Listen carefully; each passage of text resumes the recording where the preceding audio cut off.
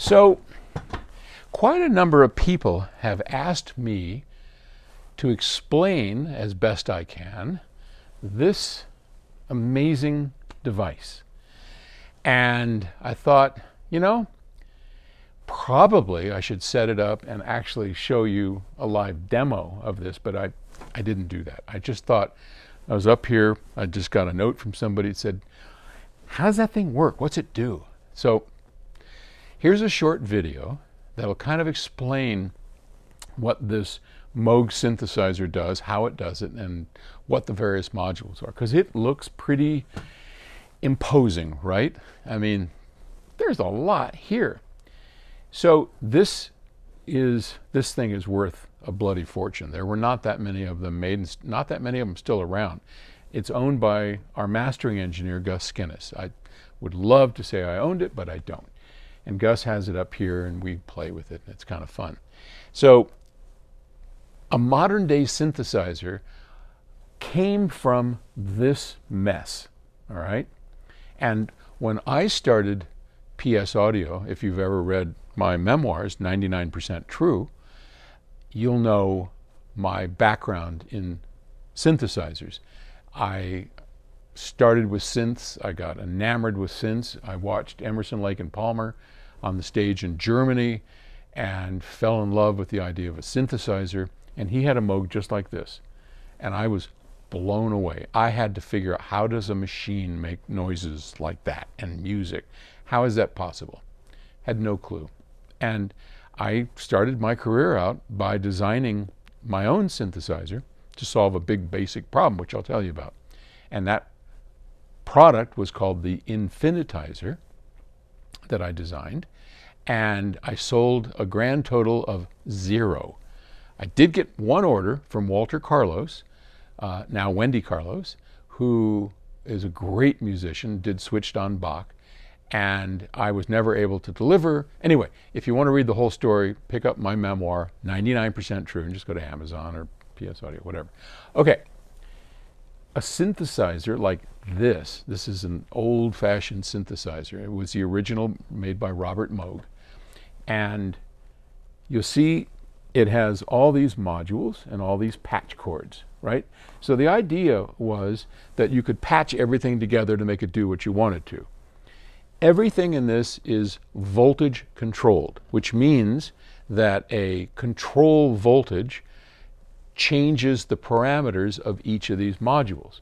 So the main modules in this are a voltage controlled oscillator that makes the sound, the noise, a voltage controlled amplifier which goes up and down in volume according to this input control voltage, an envelope generator that makes this voltage do things, and critically important, well, they're all critically important, but the filter. There's a voltage controlled filter, and that makes the character of the sound. So when you hear this wow, that's it, it's the voltage is going like this, controlling as I would with a knob. I can go wow, wow, and that is controlling the the uh, the, the low pass function going from a lot of it to none. And then basically how a wow wow pedal works. We hear this wow wow wow.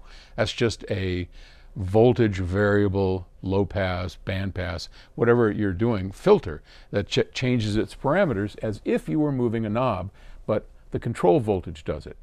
And then this down here is a voltage controlled keyboard. And every time I hit a note, um, it makes a different voltage.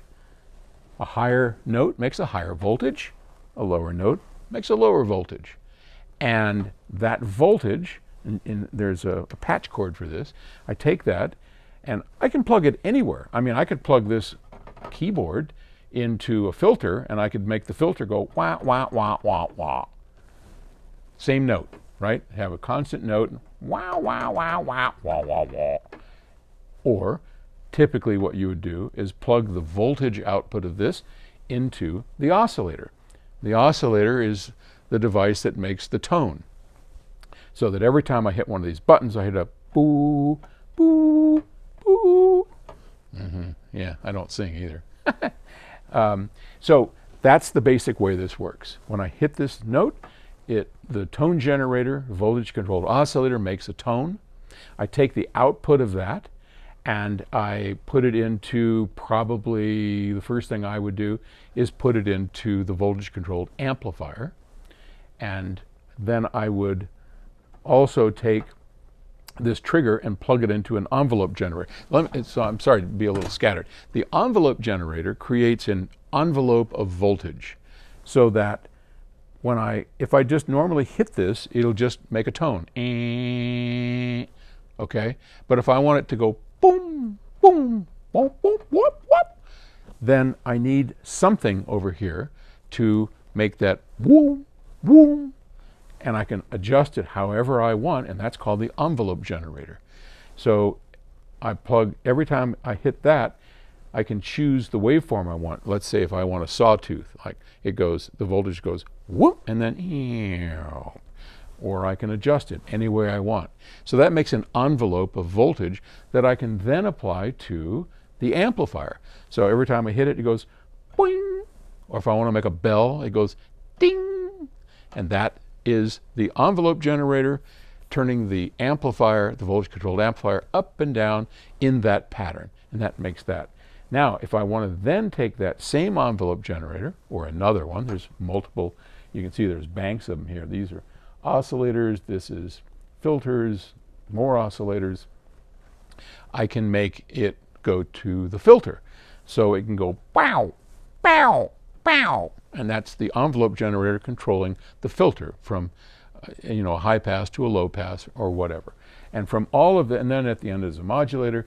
This up here is is, is what's called a uh, uh, uh, sequencer. So it did. It was one of the first things that could actually it would play for you, so you didn't have to hit the keys. He's also got a uh, Bode frequency shifter, which is an odd sounding thing. I mean, the other noise source, uh, real quick, other than just the oscillator, there's a white noise generator in here, and that makes that so. And that's basically it. It takes a bit of skill to get a good sound out of this thing, but that, in essence, is the Moog synthesizer. Real brief, interesting piece. I grew up with this thing. I love it. It's an amazing accomplishment, and it has changed the world of music forever. Okay, thanks for listening.